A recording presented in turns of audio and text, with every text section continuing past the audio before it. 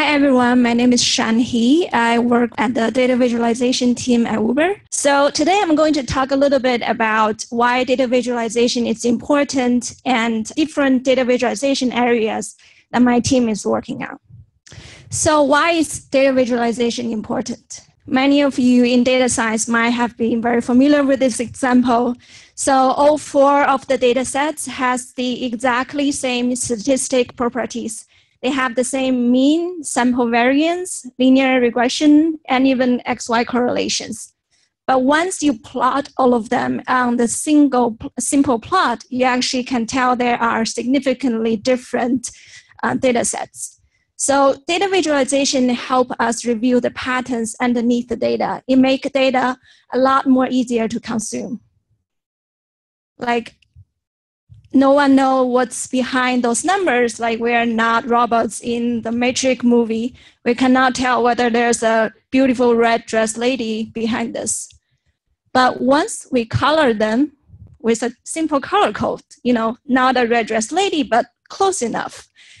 So this is a cheesy example but it tells us how we can use visualization to make data a lot more easier to see and so talk about visualization. The first thing I want to say is like, what is Uber's data like? You know, use the word like. So um, this is a video showing our global expansion from the first ride we did in San Francisco. And then over the course of five years, we reached our million trip in 2015, uh, 2012.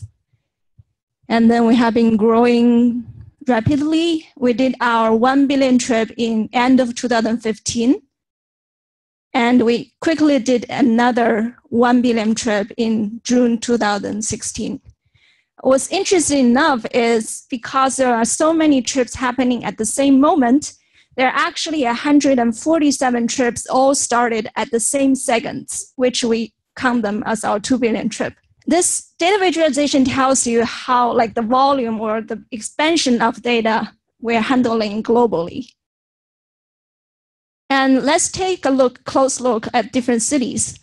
This is all trip in one day in Mexico City in 2014. Each of the line is drawn by one by the GPS trace of single trip. And this is 2016. So, you know, we talk about numbers every day. Oh, we did like a couple thousand trips in the city. But what does that really mean? By visualization, we can tell you, you know, we almost covers every single street in Mexico City in one day. And then data tells you how much depth we have in uh, how much impacts we're doing in cities. So what do we do with all this? We want to contribute our specialties into growing of our business. We want to help build a more intelligent and efficient system. So there are a couple of focuses area of our team. The first one is we build visual analysis tools, mainly helping our business intelligence uh, team to build like reporting and real-time analysis with charts and networks. We also invested heavily into our mapping applications. We love geospatial data. So we built like maps that visualizing trips, pickups and drop-offs, and even uh, street segments or building layers.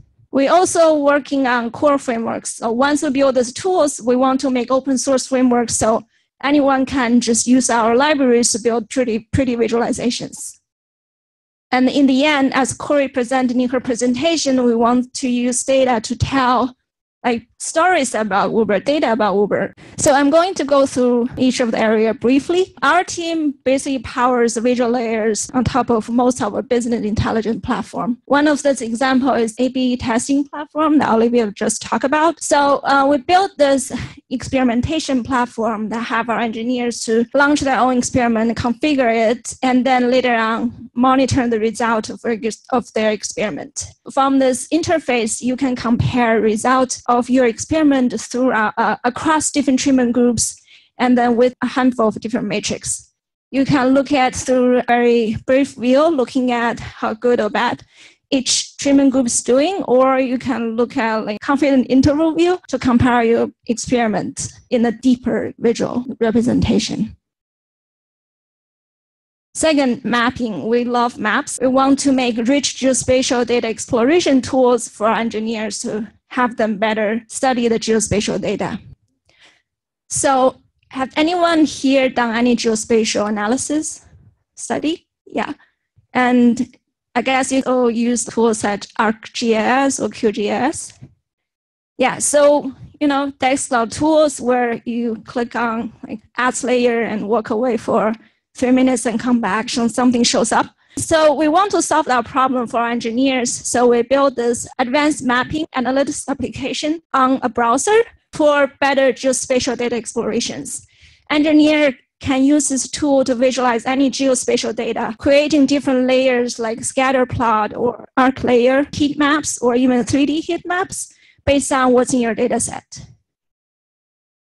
An example of this, I also use New York City taxi data, one day of it, and plot it on a map and then configure the visual by, you know, color the points by different fares or different times, or filter them to uh, what time the trip actually happens. This is an example how I create this visual. So I just upload the CSV, contains one day of New York City trips, and then our platform is smart enough to detect the geo points in your data set and automatically creates uh, point layers from your pickup locations and drop off locations. So this is all the pickups in one day of all the taxi trip. There are 400,000 points being drawn on this application, but it takes 10 seconds load and then you can interact with it pretty smoothly. And then you can even turn on like the drop up layer, which is in blue, and then zoom in and zoom out this is currently you are looking at like a million points in the browser in real time. And later on, you can filter them. You can basically filter the data points by any fields in your data set. So in this case, I'm filtering all the trips by when it happens. So I'm only looking at all the trips that happens during rush hours. And then the blue ones are drop-offs. Yellow points are pickups. I further filter out just the evening commute trips and then compare them side by side. You immediately see like there's a very diverse pat- pattern in here, like almost all the pickup and drop off reverse in the sense. What if I want to see the correlations between pickups and drop offs? There's this arc layer I draw by connecting the dots.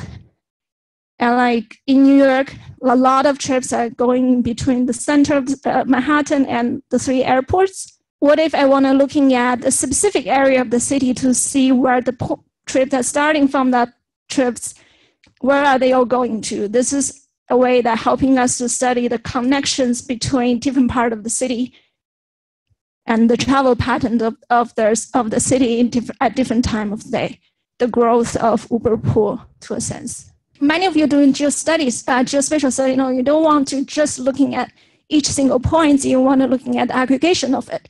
So we do a lot of hexagon here. I'm drawing a heat map using hexagons. The color of the color of this heat map is based on number of trips. So I'm looking at the density of pickups inside the city. And I want to go fancy, add like to add the three dimensional layer to this to have the height correlate to the number of trips. This way you can immediately spot out the like the top percentile, the, the ones that tallest. And a reverse operation of this is if I filter out the top percentile of distribution and then I redraw the height based on the rest, I can then later on see a more subtle distribution among the lower percentile to see how the density plays through the rest of the city. Building those tools, we build a lot of our own open source frameworks one of them is React Viz. So we build a React wrapper around D3JS. I'm also like Highcharts, so you can go check it out, Uber, uh, github.com slash Uber slash React Viz. So for our engineers, they can just use the libraries that we built to build their own dashboard without touching like the ugly low-level D3 code. And it provides a collection of visualizations such as line chart, bar charts, tree graph, pie chart, and so and so. Another framework we built open source is WebGL based mapping libraries, uh, React MapGL, DeckGL, LumaGL. Like the application I showcased before, I used all those three libraries. DeckGL is the ones that help you build WebGL based applications. So you can handle like million points on your browser in real time without problem. And then DeckGL also provide a set of visualization layers that just show like the line uh, link layer, the scatter plot layer, and also heat map layer. And in the end, we also love to tell stories with our data. We want people to looking at Uber from a more technical view or more interactive view. So we build animations and images, you know, across board. We make this we made this visualization for Uber Eats, showing how restaurant deliver different type of cuisine. We build the Uber pool data showing how traffic is affected by taking Uber pool. We also made videos for different cities showing a day in life of Uber, how trips going around the city. And in the end, we made visualizations showing how Uber's global presence how we launched cities throughout five years or six years of our history. Yeah. So yeah, that's it. In the end, if you're interested in data science, if you're interested in drawing, not only drawing pretty pictures, but how people gain insight from the data, please come to me. Thanks.